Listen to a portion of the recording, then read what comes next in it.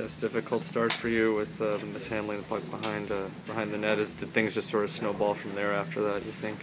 Yeah, uh, for sure. I didn't help uh, in the beginning. Uh, this puck kind of bounced, uh, bounced, I, I, took my took my eyes off the puck, and next thing you know, it's it's you know they make a play and empty net, and we're down right away, one nothing. But